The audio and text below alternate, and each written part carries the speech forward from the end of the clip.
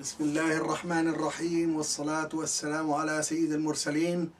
هذه تعليقات على ما تابعت اليوم في الأخبار في قناة الجزيرة.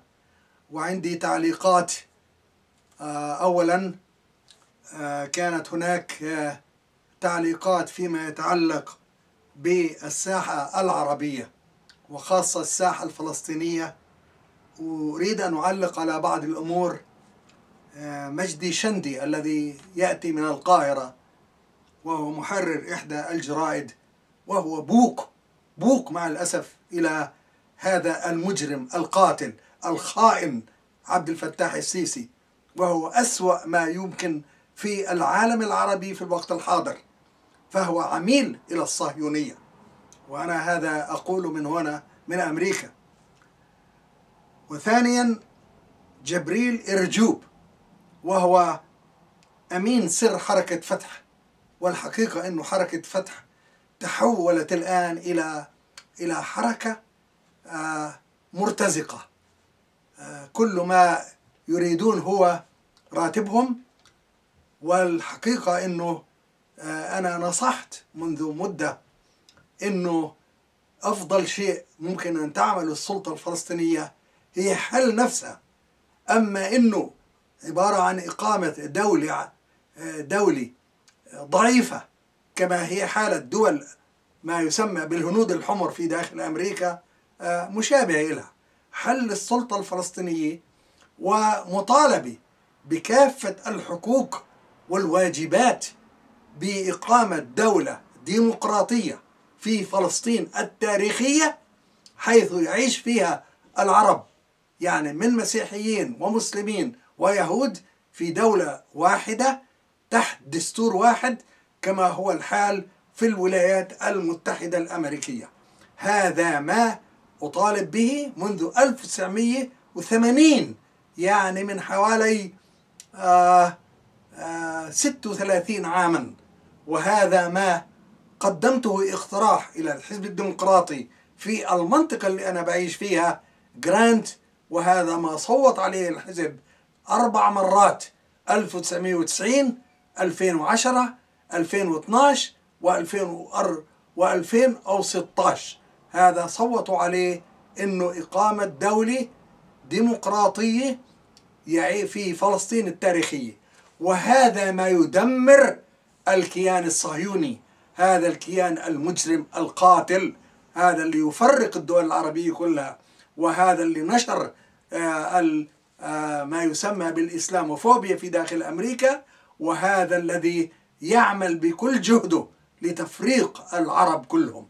و وكل محاولاته هو استمرار التطبيع مع الدول العربية بعد ما طبع دول وأنا أعتبرها دول الخيانة وهي الأردن ومصر و والآن في طريقه ليطبعها مع دول أخرى من دول الخليج وخاصة بالسعودية والإمارات وإلى آخره. وقفوا يا جماعة عند حده والطريقة بإيقافه هي دولة واحدة يعيش فيها الجميع في في دولة ديمقراطية. هذا ما يفهم الشعب الأمريكي وهذا ما يمكن أن يدمر هذه الدولة المجرمة الصهيونية من الداخل. أنا طالبت فيه من زمان. على كل حال هذا الشيء اللي بقوله. أما بخصوص دور مصر فمصر أنا بالنسبة لي انتهى دورها دور خيانة الآن. و أما محمد دحلان اللي ينافس حركة فتح أنا أعرف دحلان. وأيام ما كنت أجتمع مع الرئيس الراحل أبو عمار في في 2001 في رام الله كان هو يكون موجود.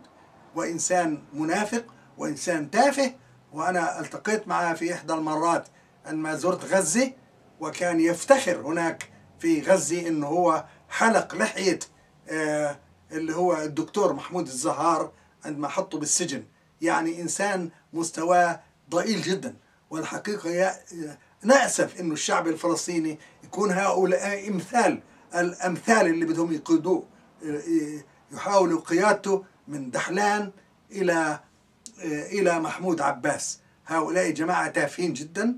ما الشعب الفلسطيني ما بيستحق هذه القيادات آه هذه القيادة التافهة والجاهلة. على كل حال آه هذا الشيء حبيت أعلق عليه وأقول لكم بصراحة أنه آه تمسكوا بالثوابت الفلسطينية وأهم شيء هي حق العودة. أهم شيء حق العودة. والعودة لا يعني أنه يروحوا على دولة فلسطينية هزيلة بالضفة الغربية وغزة وإنما حق العودة إلى حيفا وإلى يافا وإلى كل هاي المناطق. وأنا شخصيا مولود كنت في حيفا وهذا حقي أني أعود إلى حيفا. وعلى كل حال هذا الحق لا يمكن نتنازل عليه وحتى لو جاءوا أولادنا وأولاد أولادنا. ونحن الفلسطينيين الآن وخاصة مع الشتات يتناسب تماما أعدادنا مع مع اليهود. على كل حال أنا دائما هنا في داخل أمريكا أقول لهم أنه إحنا لسنا ضد اليهود كيهود كديانة اليهودية فهي ديانة رغم أنه أنا أعتبر الإسلام هو الدين الصحيح ولكن أحترم هذه الديانة مع احترامي إلى الديانات الأخرى وخاصة الديانة المسيحية. ولكن نحن ضد الصهيونية وهي حركة عبارة عن عبارة عن حركة حركة أباراثايد يعني حركة تمييز عنصري وحركة وحركة سيئة ولا يمكن أن نقبلها بأي حال من الأحوال. هذا ما أقوله هذا اليوم والحقيقة أني سعيد الآن أني لأول مرة بعد شهرين من المرض وكسر رجلي أنه أقف على رجلي لأول مرة بعد شهرين وأقول لكم من هنا السلام عليكم وبارك الله فيكم وفي أحوالكم والحمد لله رب العالمين.